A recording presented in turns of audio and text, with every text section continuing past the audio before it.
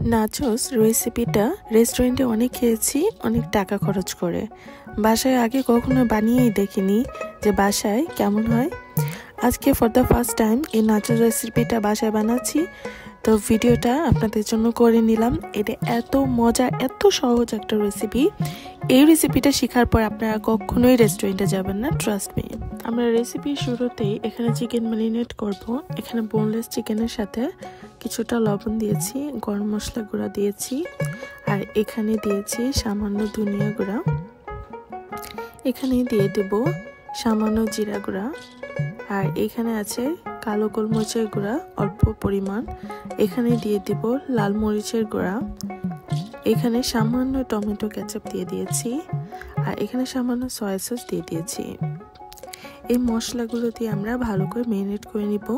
যেহেতু chicken so বেশি একটা সময় নেবে না ম্যারিনেশনের জন্য। সো এটা আমরা দশ থেকে পনেরো মিনিট রাখলেই হয়ে যাবে। তারপরে আমরা তেলের মধ্যে ফ্রাই করে নিব, তেলটা গরম করে নিব। আর এই চিকেনটাকে একটু ক্রিস্পি করে ভেজে নেব।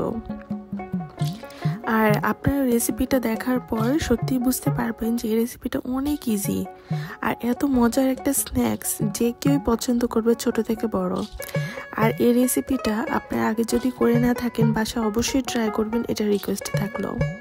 আমরা চিকেনটা তুলে নিয়েছি, আর এখানে আমরা রোল আর সমুচা বানানোর জন্য যে রেডিমেড শিট পাওয়া যায় সেই শিটটা আমরা তিন কোনা করে কেটে নিয়েছিলাম, সেটা আমরা ভেজে নিচ্ছি একই তেলের মধ্যে। ভিডিওর শুরুতে দেখিয়েছিলাম, আমরা ক্যাপসিকাম নিয়েছিলাম, লেটুস পাতা, গাজর নিয়েছিলাম, আর কাঁচামরিচ নিয়েছিলাম, আর সামান্য কয়েকটা পেঁয়াজ কুচি নিয়েছিলাম। এটাকে কুচি করে নিতে হবে।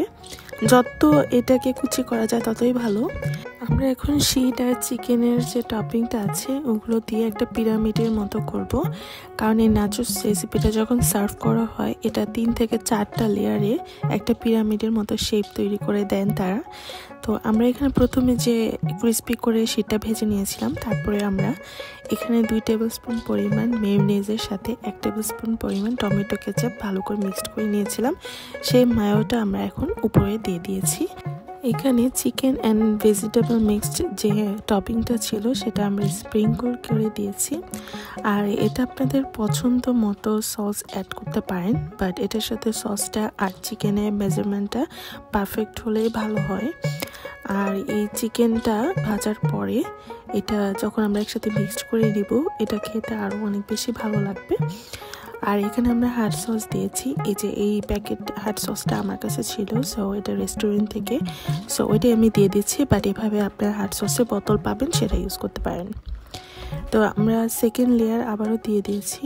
এই যে তিন কোনা করে শিটগুলো ফ্রাই করে নিয়েছিলাম। তো আমরা এখানে লেয়ার বাই লেয়ার অনেকগুলো করে নিব। সেম প্রসেসিং উপরে কিছুটা মায়া দিয়ে দিব, আর হার্ড সস দিব, আর ওই চিকেনের এই স্প্রিঙ্কলগুলো দিয়ে দিব। আর এই রেসিপিটা সবার কাছে রিকোয়েস্ট থাকবে, কারণ এটা অনেক বেশি ঝামেলা না, আবার অনেক বেশি ইনগ্রিডিয়েন্টসও লাগে না। অনেক অল্প জিনিস দিয়েই খুব কম সময়ে এই রেসিপিটা বানানো যায়, আবার খেতেও অনেক মজা। কেন টাকা খরচ করে রেস্টুরেন্টে খাবেন? বাসায় তো বানাতে পারেন। আর এই রেসিপিটা অবশ্যই মাস্টার আইটেম হিসাবেই থাকবে। সো আজকে এ পর্যন্ত সম্পূর্ণ ভিডিওটা আপনারা দেখতে থাকুন। আর যারা ফুল ভিডিওটি দেখছেন, তাদেরকে অনেক ধন্যবাদ। চ্যানেলটি এখনও যারা সাবস্ক্রাইব করেনি, তার চ্যানেলটি সাবস্ক্রাইব করে দিবেন। আর ভালো লাগলে ভিডিওটি আপনার প্রিয়জনের সাথে শেয়ার করতে পারেন। আর যারা প্রিভিয়াস ভিডিওগুলো দেখেনি দেখে নেবেন। আল্লাহ হাফিজ।